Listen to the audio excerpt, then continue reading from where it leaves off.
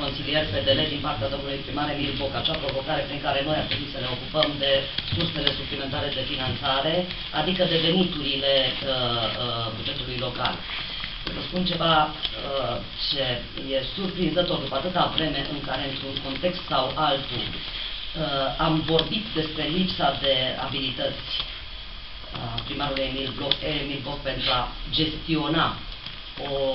afacere, o activitate privată și cu atât mai puțin o, o activitate publică, oamenii ăștia cred că n-au înțeles nici în moment, nici până în acest moment, că atributul aducerii de venituri în buget revine celui mandatat să facă asta, nici de cum Consiliului Local.